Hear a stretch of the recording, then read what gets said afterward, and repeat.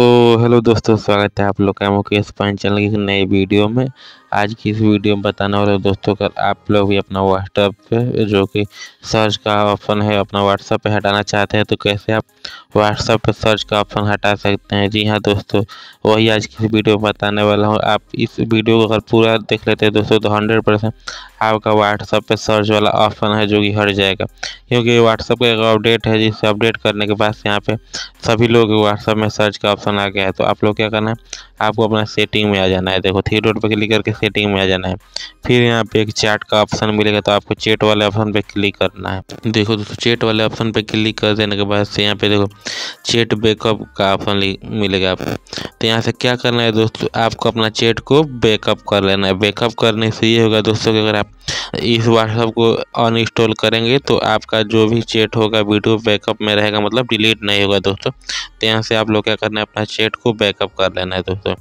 तो मैं बैकअप यहाँ से कर लेता हूँ, उसके बाद से फिर आप लोग को दिखाता हूँ। तो यहाँ पे बैकअप वाले पे क्लिक करने के बाद से आपका जितना भी चार्ट होगा, वो सभी बैकअप हो जाएगा, जिससे आप व्हाट्सअप को अनइंस्टॉल करेंगे डिलीट नहीं होगा। इसके बाद से अब आप लोग क्या करना होगा तो यहाँ से अब चैट को बैकअप कर लिया, अब आपको बैक आ जाना है। बैक आ जाने के बाद से दोस्तों, अब आपको क्रोम ब्राउज़र में जाना है। क्रोम ब्राउज़र में। अभी नहीं दोस्तों, अभी क्रोम ब्राउज़र में पहले आपको आ जाना है व्हाट्सअप का एप इन्फो में। एप इन्फो में आने के बाद से दोस्तों यहाँ पे देखो क्या करना है।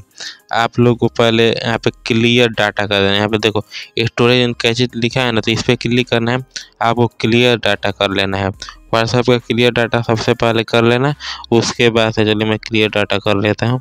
उसके बाद से फिर आप लोग क्या करना होगा, आपको अपना व्हाट्सएप को अनइंस्टॉल करना होगा दोस्तों, क्योंकि आपको व्हाट्सएप पर सर्च का ऑप्शन हटाना है तो यहाँ पे क्लियर डाटा करने के बाद अनइंस्टॉल करना होगा।